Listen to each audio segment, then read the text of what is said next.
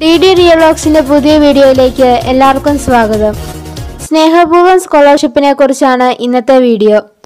മാതാവ് പിതാവ് നഷ്ടപ്പെട്ട കുട്ടികൾക്ക് ലഭിക്കുന്ന സ്കോളർഷിപ്പാണ് സ്നേഹപൂർവം സ്കോളർഷിപ്പ്. ഈ സ്കോളർഷിപ്പിനെ കുറിച്ചുള്ള വിശദമായ കാര്യങ്ങളാണ് ഇന്നത്തെ വീഡിയോയിൽ പറയുന്നത്. അതിനു മുമ്പ് ഈ ചാനൽ ആദ്യം കാണുന്നവരാണെങ്കിൽ ഇപ്പോൾ തന്നെ സബ്സ്ക്രൈബ് ചെയ്യുക. ബെല്ലൈക്കൺ കൂടി പ്രസ് ചെയ്താൽ ഇനി അപ്ലോഡ് ചെയ്യുന്ന വീഡിയോകൾ അപ്പോൾ തന്നെ നോട്ടിഫിക്കേഷനായി ലഭിക്കുന്നതാണ്. ഈ വർഷത്തെ ധാരാളം സ്കോളർഷിപ്പ് വീഡിയോകൾ ഉടനെ തന്നെ അപ്ലോഡ് ചെയ്യുന്നതാണ്. നമുക്ക് വീഡിയോയിലേക്ക് പോകാം.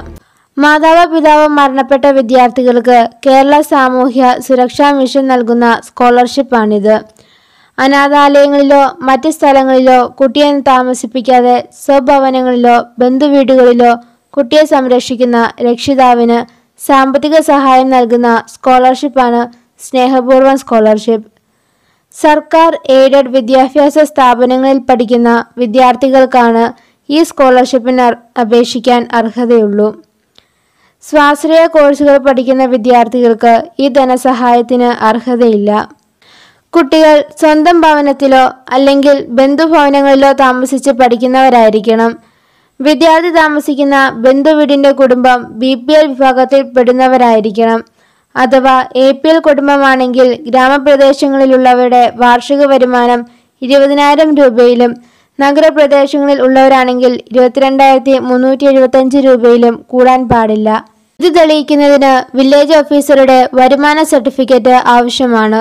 അഞ്ച് വയസ്സിന് താഴെ പ്രായമുള്ള കുട്ടികൾക്ക് ധനസഹായം ലഭിക്കുന്നതിന് ജില്ലാ ചൈൽഡ് വെൽഫെയർ കമ്മിറ്റിയുടെ ശുപാർശയോടുകൂടി കേരള സാമൂഹ്യ സുരക്ഷാ മിഷനിലേക്ക് നേരിട്ട് അപേക്ഷിക്കാവുന്നതാണ്.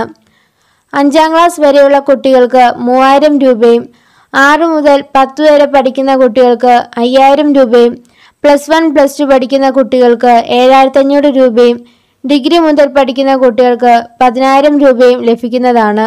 ഒരു തവണയായോ ഗഡുക്കളായോ ആണ് തുക ലഭിക്കുന്നത്. ഇതിനാവശ്യമായ രേഖകൾ എന്തൊക്കെയാണെന്ന് നോക്കാം. മാതാവോ പിതാവോ മരണം അടഞ്ഞതിന്റെ ആധികാരിക certificate. D P L ration കാർഡിന്റെ സാക്ഷ്യപ്പെടുത്തിയ പകർപ്പ്. വരുമാന സർട്ടിഫിക്കറ്റ്. കുട്ടിയുടെയും രക്ഷിതാവിന്റെയും പേരിലുള്ള ജോയിന്റ് അക്കൗണ്ട്. ബാങ്ക് പാസ്ബുക്കിന്റെ ആദ്യ page.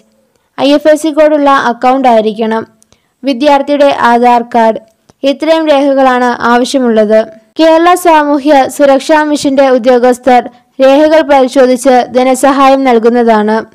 ഈ സ്കോളർഷിപ്പിന് അപേക്ഷ സമർപ്പിക്കേണ്ട അവസാന തീയതി രണ്ടായിരത്തി ഇരുപത്തിരണ്ട് നവംബർ മുപ്പതാണ്. അർഹരായ വിദ്യാർത്ഥികൾ എത്രയും വേഗം അപേക്ഷ സമർപ്പിക്കുക. എല്ലാ വിഭാഗക്കാർക്കും അപേക്ഷിക്കാൻ സാധിക്കുന്ന നിരവധി സ്കോളർഷിപ്പ് വീഡിയോകളുടെ ലിങ്ക് ഡിസ്ക്രിപ്ഷൻ ബോക്സിൽ കൊടുത്തിട്ടുണ്ട്. അത് ഉപയോഗപ്പെടുത്താവുന്നതാണ്. ഈ വീഡിയോ ഉപകാരപ്രദമായെങ്കിൽ ലൈക്ക് ചെയ്യാനും സബ്സ്ക്രൈബ് ചെയ്യാനും മറക്കാതിരിക്കുക. പുതിയ വീഡിയോയുമായി അടുത്ത ദിവസം വീണ്ടും വരാം. നന്ദി.